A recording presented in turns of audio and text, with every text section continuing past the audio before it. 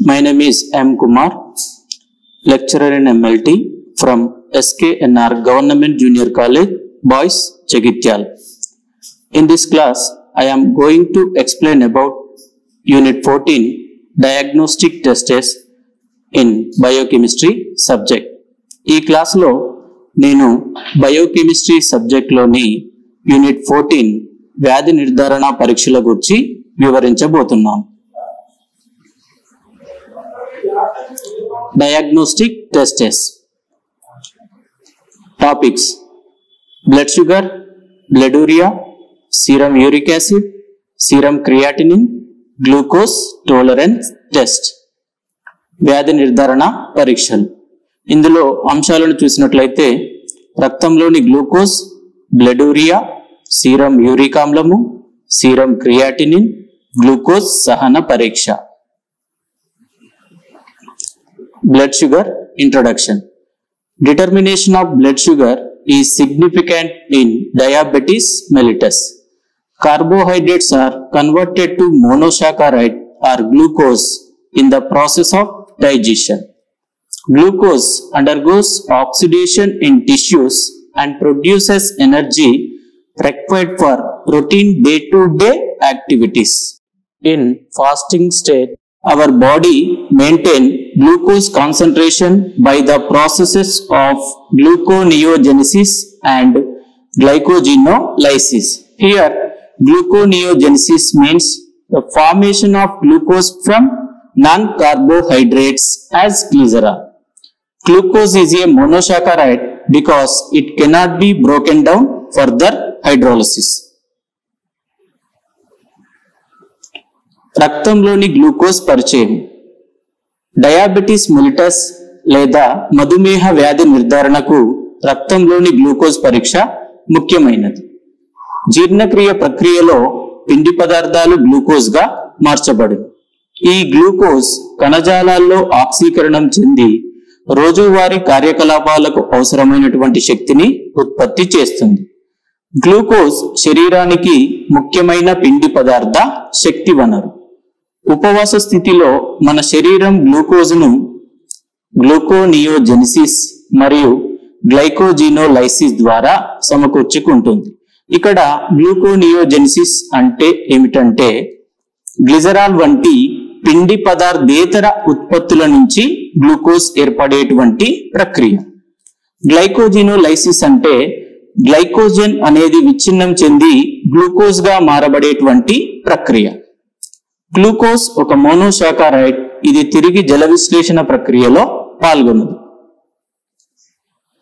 About insulin hormone insulin is a hormone produced by beta cells of islets of Langerhans of pancreas it increases utilization of glucose by tissues when there is deficient secretion of insulin glucose cannot be utilized by the cells properly resulting in its increased level in the blood until the blood sugar level crosses 180 mg percentage glucose not excreted in urine this value is called as Reynolds threshold value for glucose the condition of appearance of glucose in urine is called as glycosuria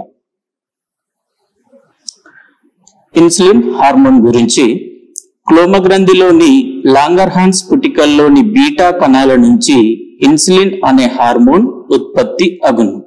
ఈ insulin కణజాలాల్లో glucose వినియోగాన్ని పెంచును.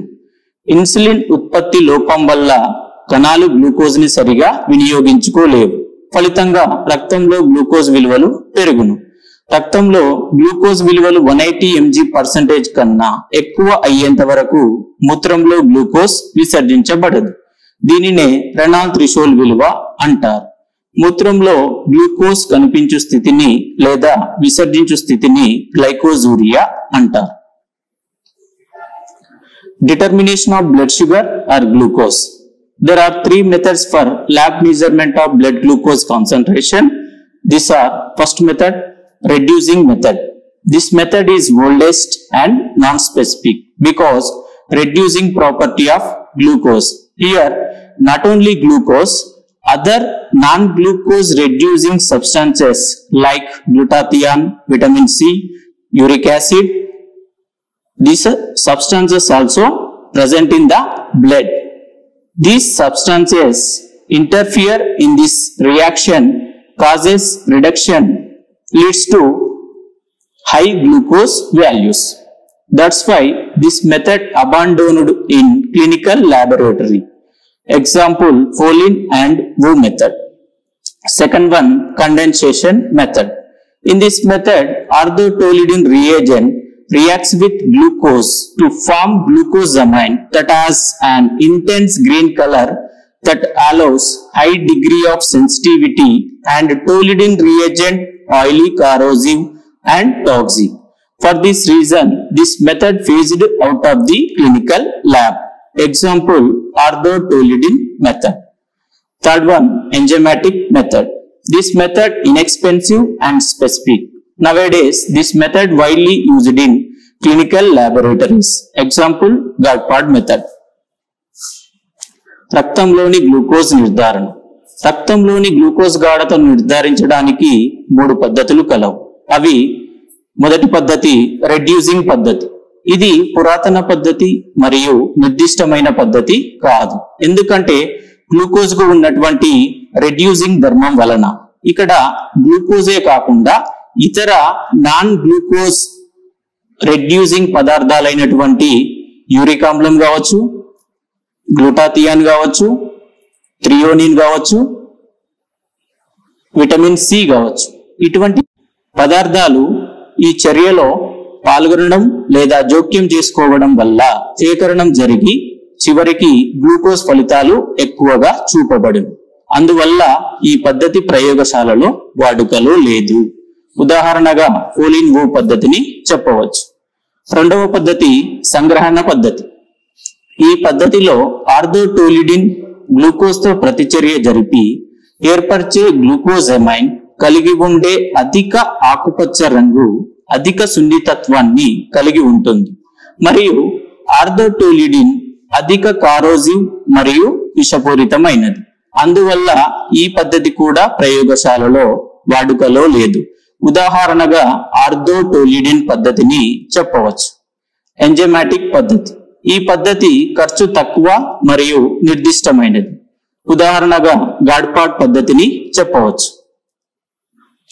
Determination of blood sugar by GOD POD method requirements కావలసిన పరికరాలు. Test tubes measuring pipettes micro pipettes and colorimeter reagents రసాయనాలు. Glucose reagent this is a buffer enzyme reagent and phenol reagent glucose standard solution and distil water specimen నమూనా serum or plasma serum లేదా plasma wavelength తరంగ దీర్ఘత five thirty nanometer principle glucose undergoes oxidation by the action of the enzyme glucose oxidase to give gluconic acid and hydrogen peroxide here see the reaction in the box C six H twelve O six combines with H two O plus O two undergoes oxidation by the action of the glucose oxidase to gives C6H12O7 gluconic acid plus H2O2 hydrogen peroxide. సూత్రం glucose అనేది glucose oxidase enzyme చర్య వలన ఆక్సీకరణ చెంది gluconic ఆమ్లమును మరియు hydrogen పెరాక్సైడ్ని ఏర్పరచును ఇక్కడ మనం పట్టికలో చర్యను చూడవచ్చు. ఇక్కడ C six H twelve O six glucose అనేది నీరు మరియు ఆక్సిజన్తో కలిసి గ్లూకోజ్ ఆక్సిడేస్ ఎంజైమ్ చర్య వలన ఆక్సీకరణ చెంది C six H twelve O six O seven sorry gluconic ఆమ్లమును మరియు H two O two hydrogen పెరాక్సైడ్ని ఏర్పరచును.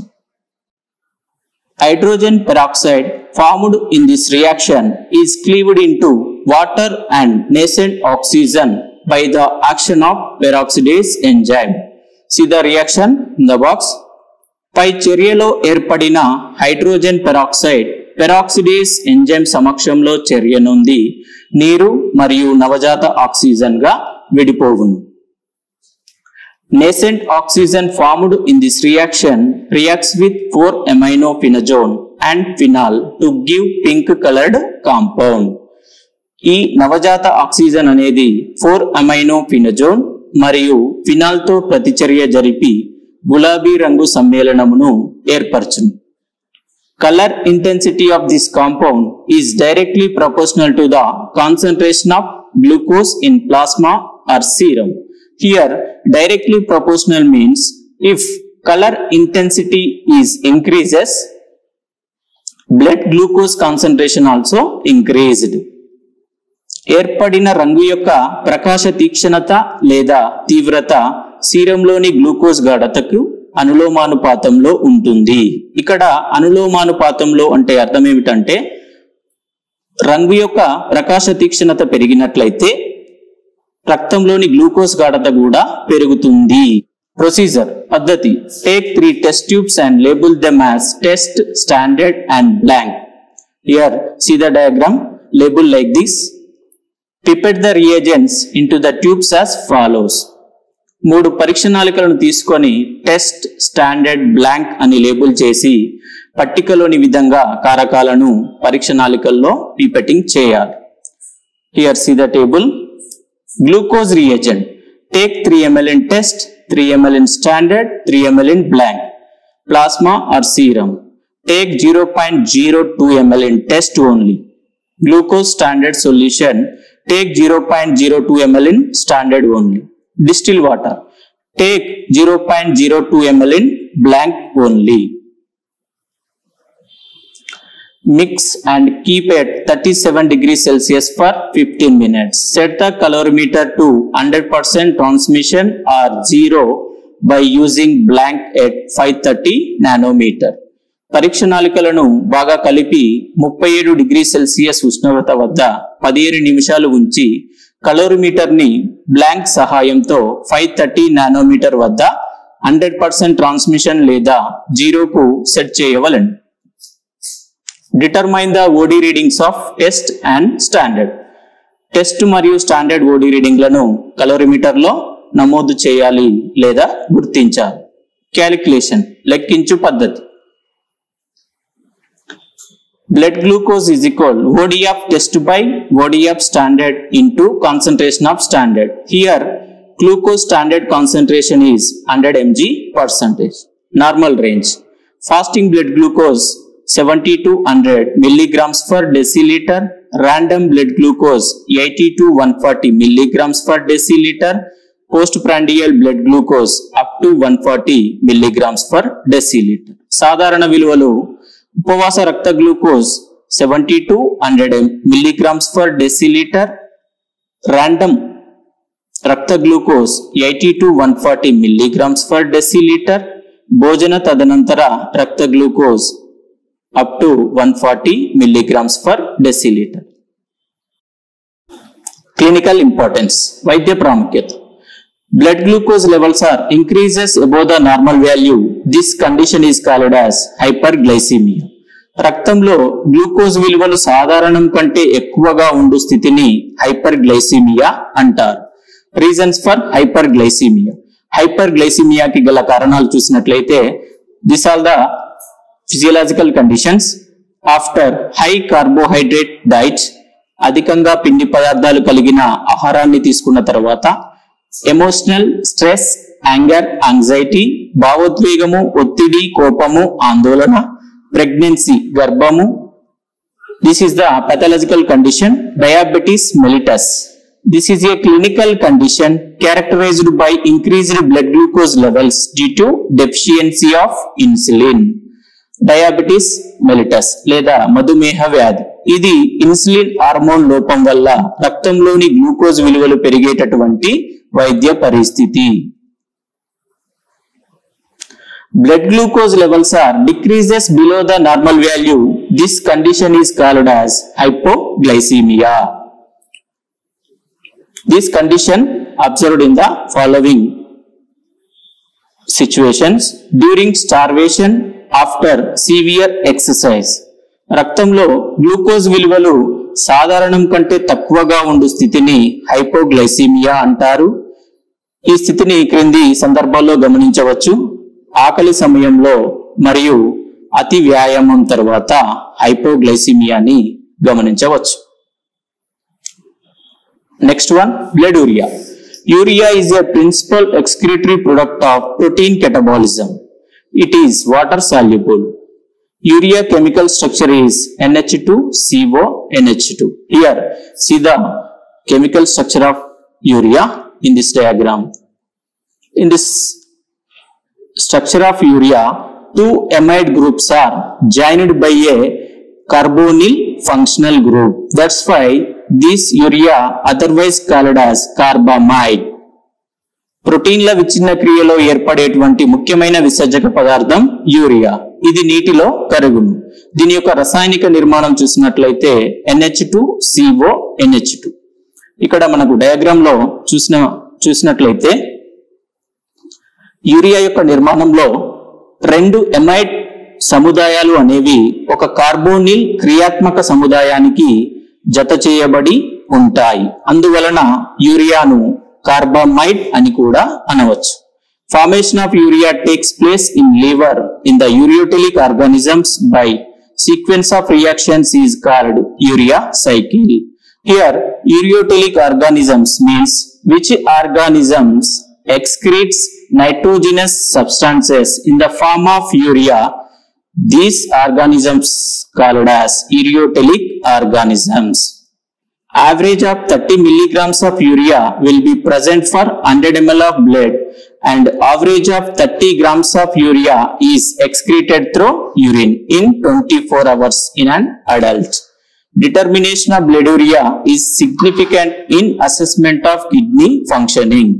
Ureotelic జీవుల్లోని కాలేయంలో జరిగే క్రమమైన చర్యల ఫలితంగా యూరియా ఏర్పడు దీనినే యూరియా చక్రము అంటారు ఇక్కడ యూరియోటెలిక్ జీవులు అంటే ఏమిటంటే ఏ జీవులైతే నత్రజని సంబంధ వ్యర్థ పదార్థాలను యూరియా రూపంలో విసర్జిస్తాయో ఆ జీవులను యూరియోటెలిక్ జీవులు అంటారు.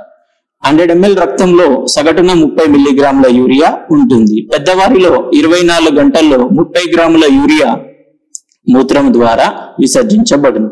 మూత్రపిండాల పనితీరును అంచనా వేయడానికి బ్లెడూరియా పరీక్ష చాలా ముఖ్యమైనది. Determination of blood urea there are three different methods ఇక్కడ మనకు బ్లడ్ యూరియాను నిర్ధారించడానికి మూడు భిన్న పద్ధతులు కలవు. First one DAM method DAM పద్ధతి. సెకండ్ వన్ ఎంజమాటిక్ పద్ధతి. ఎంజమాటిక్ మెథడ్ లేదా ఎంజమాటిక్ పద్ధతి. థర్డ్ వన్ టైట్రేషన్ మెథడ్ అంశమాపన పద్ధతి. Estimation of blood urea by DAM method DAM పద్ధతి ద్వారా బ్లెడూరియాను అంచనా వేయుట. నేమ్ ఆఫ్ ది మెథడ్ పద్ధతి పేరు DAM method here abbreviation of DAM is diacetyl monoxime DAM యొక్క విస్తరణ చూసినట్లయితే డై ఎసిటైల్ మోనో యాక్సైమ్ రిక్వైర్మెంట్స్ కావాల్సిన పరికరాలు. Test tubes serological pipette measuring pipette water bath and colorimeter reagents కావలసినటువంటి రసాయనాలు. DAM and TSC reagent acid reagent 2 by 3 normal sulfuric acid, 10% weight in volume sodium tungstate solution and distilled water. Principle Bladuria reacts with diacetyl monoxime and thiosemic in the presence of ferric ions in hot acidic medium to give a pink colored compound. Concentration of urea in blood is directly proportional to intensity of pink color. Here see the reaction in this box. Urea reacts with DAM and TAC reagent in the presence of ferric ions in hot acidic medium to gives pink colored compound. సూత్రం రక్తంలోని urea వేడి ఆమ్ల మాధ్యమంలోని ferric అయాన్ల సమక్షంలో die acetyl mono యాక్సైన్ మరియు థయోసెమీ కార్బజైడ్తో చర్య జరిపి గులాబీ రంగు సమ్మేళనమును ఏర్పరచును. రంగు యొక్క ప్రకాశ తీక్షణత రక్తంలోని యూరియా గాఢతకు అనులోమానుపాతంలో ఉంటుంది. వేవ్ లెంత్ తరంగ దర్గ్యత five twenty nanometer specimen blood నమూనా అనేది రక్తం. ప్రొసీజర్ పద్ధతి preparation of protein free blood filtrate add 3.5 ml of distilled water, 0.2 ml of 2 by 3 normal sulfuric acid, 0.2 ml of 10% weight in volume sodium tungustate solution to 0.1 ml of blood in a test tube, mix and centrifuge after 5 minutes. Take a supernatant in a test tube labeled as test. This is a protein-free blood filtrate preparation. Protein రహిత రక్త వడపోత తయారీ ఒక పరీక్ష నాళికలో zero point one ML రక్తానికి three point five ML శుద్ధ జలం zero point two ml two by three normal sulphuric acid ten percent weight in volume sodium tungstate కలిపి సెంట్రిఫ్యూజ్ చేసిన ఐదు నిమిషాల తర్వాత సేకరించినటువంటి సూపర్నేటెంట్ని టెస్ట్ అని లేబుల్ చేసిన పరీక్ష నాళికలోకి బదిలీ చేయాలి. Give above similar treatment to zero point one ml of urea working standard except blood in a test tube mix and centrifuge after five minutes transfer a supernatant in another test tube label as standard ఇక్కడ మనము ఒక పరీక్ష నాళికలో zero point one ml urea working స్టాండర్డ్ను తీసుకొని దీనికి protein రహిత రక్త వడపోత తయారీలో ఉపయోగించిన కారకాలన్నింటినీ అంటే ఇక్కడ రక్తము తప్ప మిగిలిన కారకాలన్నింటినీ కలిపి సెంట్రిఫ్యూజ్ చేసి ఐదు నిమిషాల తర్వాత సేకరించినటువంటి సూపర్ని స్టాండర్డ్ అని లేబుల్ చేసిన పరీక్ష నాలికలోకి బదిలీ చేయాలి. Give above above similar treatment to zero point one ml of distil water except blood in a test tube mix and centrifuge after five minutes transfer a super in another tube label as blank ఇక్కడ మనము ఒక పరీక్షనాళికలో zero point one ML శుద్ధ జలాన్ని తీసుకొని దీనికి protein రహిత రక్త వడపోత తయారీలో మాదిరిగా రక్తము తప్ప మిగిలిన కారకాలన్నింటిని కారకాలన్నింటినీ తీసుకొని సెంట్రిఫ్యూజ్ చేసి ఐదు నిమిషాల తర్వాత సేకరించినటువంటి సూపర్ని బ్లాంక్ అని లేబుల్ చేసిన పరీక్షనాళికలోకి బదిలీ చేయాలి. Take three test tubes and label them as test standard blank take reagents in the tubes as follows మూడు పరీక్ష నాళికలను తీసుకొని టెస్ట్ స్టాండర్డ్ బ్లాంక్ అని లేబుల్ చేసి పట్టికలోని విధముగా పరీక్ష నాళికల్లో కారకాలను రిపటింగ్ చేయాలి.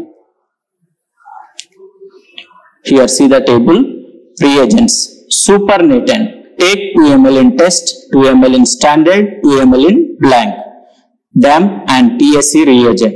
Take 3 ml in test, 3 ml in standard, 3 ml in blank. Acid reagent. Take 3 ml in test, 3 ml in standard, 3 ml in blank.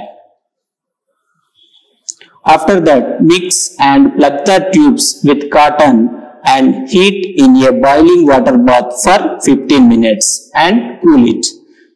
తర్వాత పరీక్ష నాలికలను బాగా కలిపి కాటన్తో ప్లగ్ చేసి వాటర్ బాత్లో పదిహేను నిమిషాలు వేడి చేసి చల్లార్చవలను.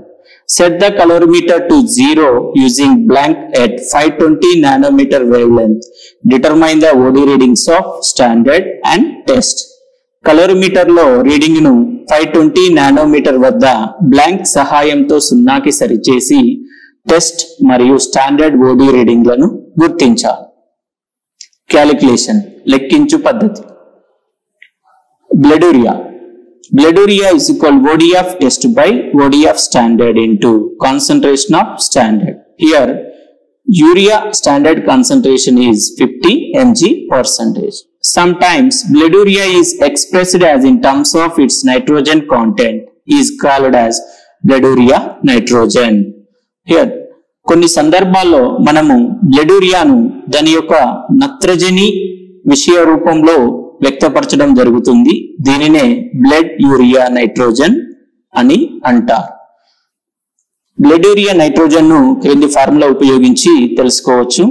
Blood urea nitrogen is equal blood urea by two point one four next method determination of blood urea by enzymatic method or Berthelot method enzymatic పద్ధతి లేదా బెర్తిలాట్ పద్ధతి ద్వారా బ్లెడూరియాను నిర్ధారించుట.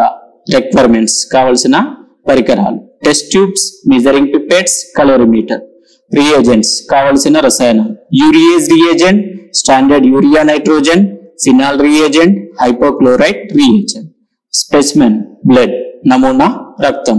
వేవ్ లెంత్ తరంగ దైర్ఘ్యత five forty six nanometer principle urea in the blood is converted to ammonia and carbon dioxide by the action of the urease enzyme.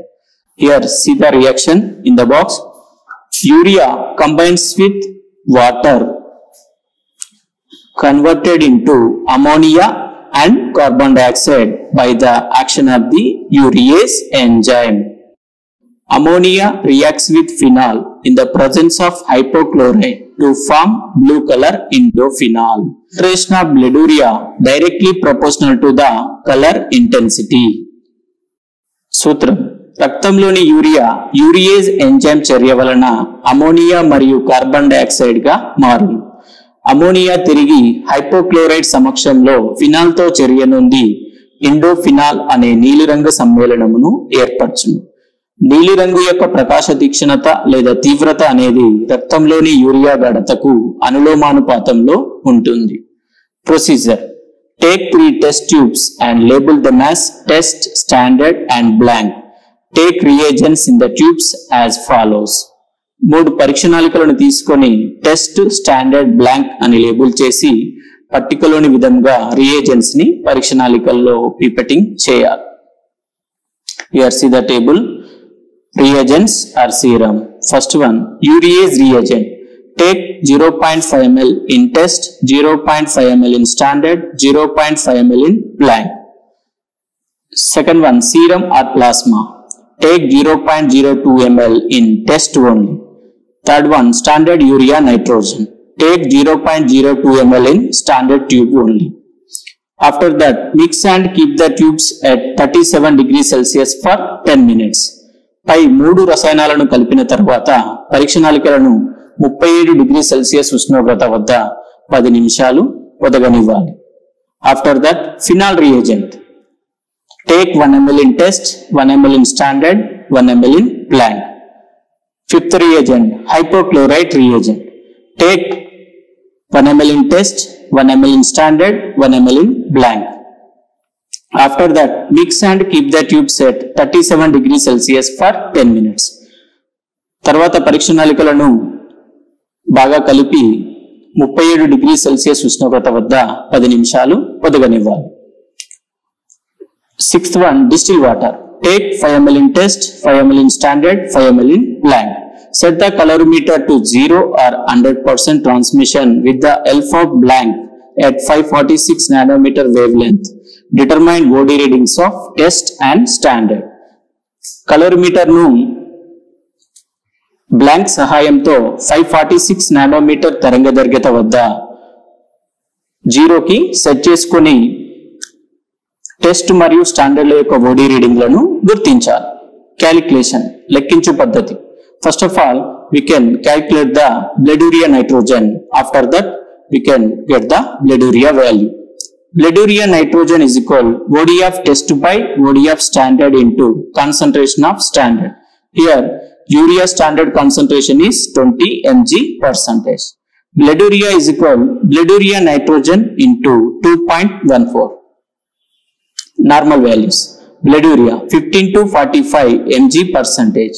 Blood nitrogen 5 to 21 mg percentage.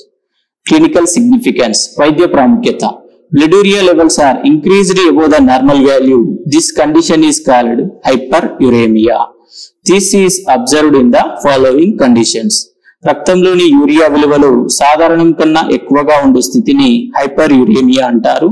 క్రింది పరిస్థితుల్లో దీనిని గమనించవచ్చు. First one prerenal conditions prerenal పరిస్థితులు.